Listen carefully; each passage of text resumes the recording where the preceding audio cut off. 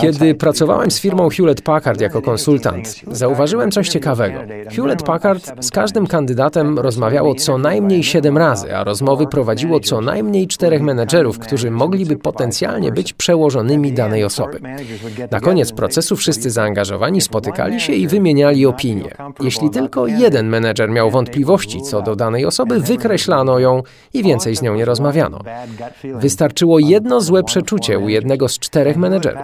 W rezultacie współczynnik rotacji pracowników w Hewlett Packard jest jednym z najniższych na świecie, za to morale i wydajność pracowników są gigantyczne. Piątym kluczem do zatrudniania dobrych pracowników jest stosowanie prawa trzech.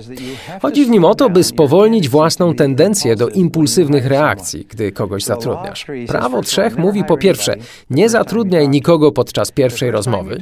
Podczas pierwszej rozmowy z tobą kandydat chce się wspiąć na wyżyny własnych możliwości. Będzie lepiej wyglądał, lepiej się ubierze, będzie sprawiał najlepsze wrażenie.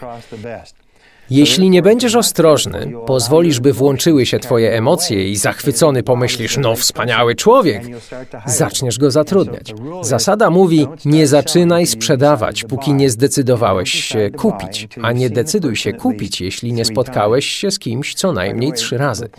I tu uwaga, często podczas rozmowy kwalifikacyjnej zaczynamy kandydatowi sprzedawać naszą firmę. Jaka to świetna firma, jaka to dobra praca, jaki mamy wspaniały produkt, rynek, a powinno być odwrotnie. Najpierw to kandydat powinien ci sprzedać siebie i przekonać, że jest odpowiednią osobą, a dopiero potem ty możesz mu zachwalać swoją firmę. Prawo trzech mówi więc, żebyś porozmawiał z kandydatem, który ci się podoba, przynajmniej trzy razy. Zdarzało mi się rozmawiać z kimś rano, po południu i znowu następnego dnia. Można ten proces przyspieszyć. Czasem rozmawiam z kimś w kilkudniowych odstępach.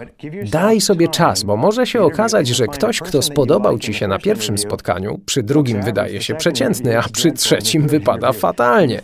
Przy trzecim myślisz, co ja sobie wyobrażałem, kiedy ją czy jego chciałem zatrudnić za pierwszym razem. Drugi element prawa trzech mówi, że rozmowy powinny się odbyć w trzech różnych miejscach. Na przykład pierwsze spotkanie w Twoim biurze, drugie w salce konferencyjnej, na trzecie możesz się umówić na kawę czy na lunch. Pamiętam, jak raz o mało nie zatrudniłem pewnej kobiety. W biurze była fantastyczna, bardzo miła osoba. Kiedy ją przedstawiłem innym pracownikom, porozmawiali, wszyscy mówili świetna. Następnego dnia zaprosiłem ją na lunch, a kiedy jesz z kimś lunch, wychodzą pewne rzeczy. W głowie mi się nie mieściło, że chciałem tę kobietę wcześniej zatrudnić. W Hewlett Packard przed zatrudnieniem kogoś zaprasza się tę osobę na kolację razem z mężem, żoną czy partnerem życiowym. Ich wzajemne relacje są szczegółowo obserwowane. To wygląda jak spotkanie towarzyskie, a tak naprawdę jest ważnym elementem procesu rekrutacji. Wystarczy wziąć kogoś na lunch i obserwować. W ogóle nie trzeba rozmawiać o biznesie, a efekty mogą być absolutnie zaskakujące.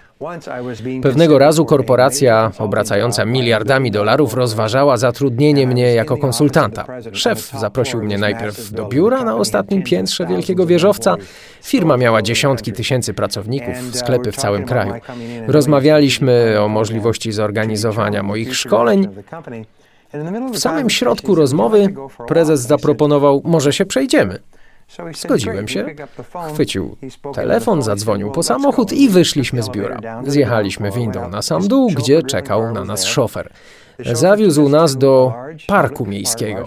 Wyszliśmy na spacer i przez godzinę prowadziliśmy luźną pogawędkę. Zrobiliśmy sobie kółeczko, wróciliśmy do samochodu i nagle prezes mówi: W porządku, masz tę robotę. Wróciliśmy do biura i pracowałem dla nich przez kolejne dwa lata. Ten szef chciał zobaczyć mnie w innym miejscu, w innej sytuacji, nie tylko w biurze, ale też w windzie, w samochodzie i w parku. To niesamowicie działa. Trzecia część prawa trzech mówi, aby z kandydatem porozmawiały przynajmniej trzy osoby. W mojej firmie mamy dziesięcioosobowy zespół i jeśli mamy kogoś zatrudnić, każdy z tym kimś rozmawia. Potem pytamy, i co myślisz? Ktoś, kto wypada fantastycznie w rozmowie z tobą, może wyjść bardzo kiepsko w rozmowie z kimś innym, bo opuścił gardę. Przecież rozmawiał z przyszłym kolegą z pracy. Kolejny ważny punkt. Jeśli inni sprzedawcy rozmawiają z kandydatem i wszyscy mówią: Dobry człowiek, uważam, że powinien go pan zatrudnić, to kiedy rzeczywiście go zatrudnisz, wszyscy będą go wspierać, aby naprawdę odniósł sukces. Zapanuje duch współpracy zespołowej. Pamiętaj więc, by rozmawiać z kandydatami przynajmniej trzy razy, spotkać się z nimi w trzech różnych miejscach i zebrać opinie trzech różnych osób, nim podejmiesz ostateczną decyzję. Od tego momentu już nigdy nie prowadź rekrutacji samodzielnie.